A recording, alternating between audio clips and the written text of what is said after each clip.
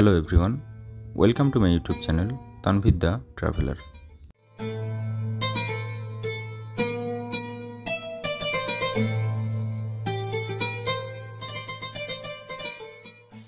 আগ্রা তাজমহল দেখার পরে আব হাম আগে হে আগ্রা ফোর্ট।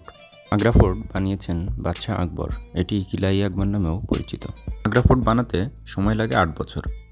আর ষোলোশো আটত্রিশ সালের আগ পর্যন্ত যখন আগ্রা থেকে দিল্লিতে রাজধানী শিফট হয়, তার আগ পর্যন্ত এটাই ছিল মুঘল সাম্রাজ্যের প্রধান থাকার জায়গা।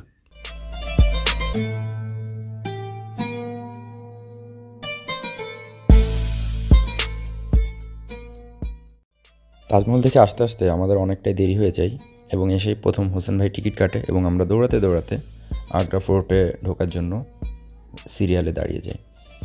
আগ্রা ফোর্টের ভিতর ঢোকার পরে প্রথম যে জায়গাটা দিয়ে আমরা এখন হাঁটছি, এই জায়গাটা হচ্ছে মূল এন্ট্রি পয়েন্ট আর কি। এখানে সুন্দরভাবে একটা স্লোপ করা। এই স্লোপটা দিয়ে ওঠানামার জন্য সুবিধা হতো এবং কোনো শত্রুপক্ষ যদি আক্রমণ করত, তাহলে এখান দিয়ে বড় বড় গোলা ও কাঠের গুঁড়ি গড়িয়ে দেওয়া হতো।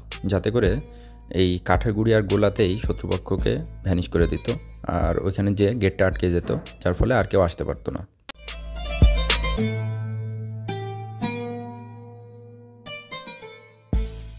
ভিতরে ঢোকার পর প্রথম আমাদের সামনে যে মহলটা দেখা যাচ্ছে, এটা হচ্ছে জাহাঙ্গীর মহল। এবং মহলের সামনে যেটা আছে, এটা হচ্ছে জাহাঙ্গীরের ছোটোবেলায় গোসল করার জন্য একটা বাথটাব। তারপর আমরা জাহাঙ্গীর মহলের ভিতর ঢুকে যাই এবং এইখানে কোনো জানালা সিস্টেম ছিল না এবং কোনো দরজাও ছিল না। এখানে সবসময় এরা পর্দা ব্যবহার করত এবং এমনভাবে ডিজাইন করা যাতে জানালা বাদেই সুন্দরভাবে আলো এবং বাতাস ভিতরে ঢুকতে পারে।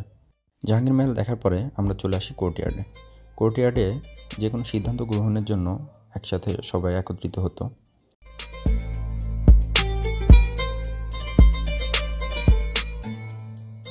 কোর্টয়ার্ড থেকেই আমরা চলে আসি খাস মহল দেখতে। খাস মহলটা আসলেই খুবই সুন্দর একটা জায়গা। এটি সাদা মার্বেল পাথর দিয়ে তৈরি। খাস মহলটা হচ্ছে মূলত প্রাইভেট প্যালেস। এখানে সবার আসার যাওয়ার অধিকার ছিল না। এখানে মূলত যারা রাজা, রানী এবং প্রিন্স, প্রিন্সেস যারা ছিল ওই সময়কার তারাই আসতে যেতে পারত, থাকতে পারত। খাসমহলের সামনের এই জায়গাটাতে আগে ছিল আঙ্গুরের বাগান। এই আঙ্গুরের বাগান থেকে জাহাঙ্গীর বসে বসে আঙ্গুর খেত। এই পুরা আগ্রা এবং দিল্লির ট্যুরটাতে যেখানে আমি ভিডিও করতে যাই, কীভাবে কীভাবে জানি আমার সামনে রাফি চলে আসে।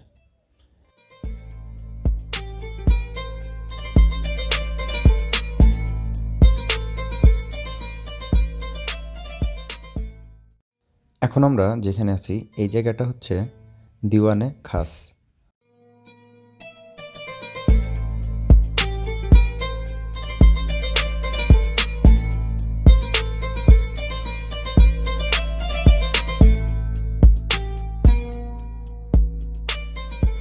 দিওয়ানে খাসের বামের যে জায়গাটা, এই জায়গাটা হচ্ছে মাসি ভবন। খাসে আমরা বেশিক্ষণ থাকতে পারি না, কারণ আমাদের সময় ছিল না। তারপরে চলে আসি আমরা দিওয়ানে আম দেখতে। এটা খুবই মার্ভেলাস একটা আর্কিটেকচার